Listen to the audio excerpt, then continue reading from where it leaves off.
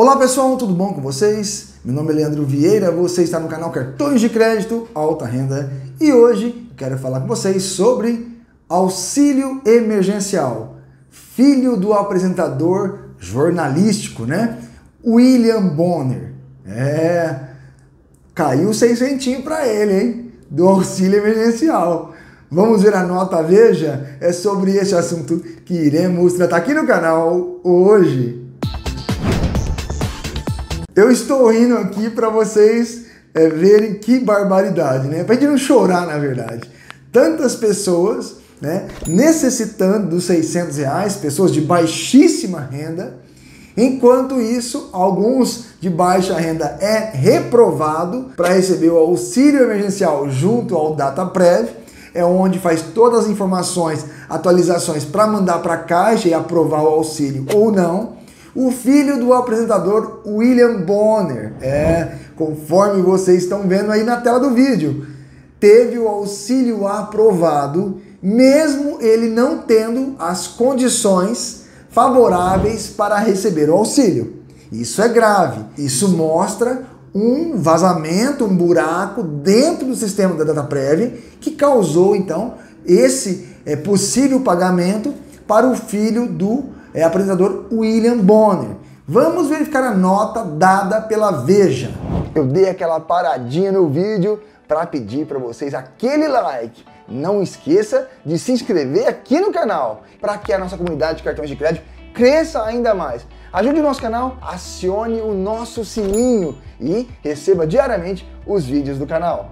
Auxílio emergencial, caso de William Bonner, expõe falha grave no sistema filho do apresentador, está na base de dados do Corona Voucher e teve o auxílio aprovado, mesmo não tendo baixa renda. O principal programa de combate aos danos econômicos causados pela pandemia do coronavírus, o auxílio emergencial, que transfere 600 reais a trabalhadores informais de baixa renda que perderam fonte de sustento no período está em xeque por relatos seguidos de falhas na concessão e também de fraudes, que faz com que o dinheiro chegue nas mãos de quem não precise do recurso. Nesta quinta-feira, dia 21 de maio, jornalista William Bonner, apresentador do Jornal Nacional, foi nas redes sociais dizer que usaram o CPF e o nome de seu filho, Vinícius Bonner, de 22 anos, para o cadastro no auxílio emergencial. Segundo o jornalista, além da fraude no uso indevido dos dados de seu filho, a situação aponta falha grave no programa, já que o jovem, mesmo que tivesse o auxílio, não é de baixa renda e não teria direito ao Corona Voucher. O caso do filho do apresentador da TV Globo se junta a outros relatos de fraude, como os 73 mil militares que receberam indevidamente o recurso e escancara uma ineficiência do programa de transferência de renda, com gastos estimados em quase 124 bilhões de reais, logicamente, para três meses de operação. Até quarta-feira havia sido pagos 63,3 milhões de reais para 51,6 milhões de CPFs. Porém, não há como saber se o auxílio realmente chegou nas mãos de quem precisa. O auxílio emergencial é pela lei concedido a trabalhadores informais, ou seja, sem registro de carteira assinada, microempreendedores individuais, autônomos que contribuem para o INSS e também beneficiários do Bolsa Família. O principal requisito para você entrar no auxílio é ter o salário mínimo até o valor de R$ 522,50 ou até 3.135 por família, tá? Então na sua família aí não pode passar o valor total de 3.135. Além de você não pode estar registrado, nem mesmo aposentado ou pensionista. Então nesses casos você não vai receber o auxílio emergencial. Logicamente que a DataPrev se manifestou, falou que o sistema é seguro, que eles fazem tudo dentro da lei, dentro das normas, né?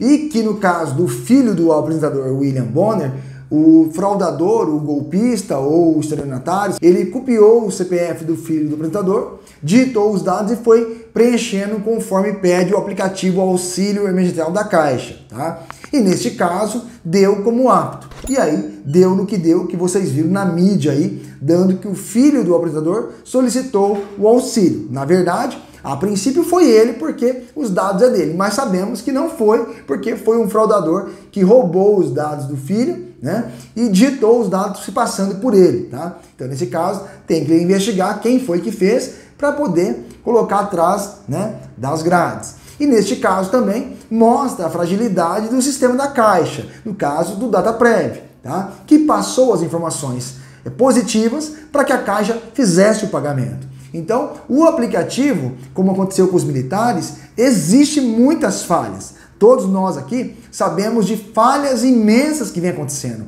Milhares de pessoas não recebem o auxílio emergencial. Várias denúncias aqui no canal, várias reclamações aqui no canal referente ao assunto. Então, tá aí para vocês, fica aí mais uma nota referente aos problemas que o aplicativo vem causando. Já relatamos vários casos aqui no canal que o aplicativo está dando falha para muitas pessoas, mesmo aquelas pessoas que já têm direito da primeira parcela, da segunda parcela, ainda continuam reclamando que não está recebendo devido à falha no sistema, e mais essa agora referente ao filho do apresentador, causando aí um impacto aí sobre a, a veracidade, sobre as informações que o DataPrev passa para a Caixa Econômica Federal. Pessoal, eu espero que vocês tenham gostado desse vídeo dentro do nosso quadro. E agora, Leandro, aqui no canal Cartões de Crédito Alta Renda. Até o próximo vídeo. Fique com Deus.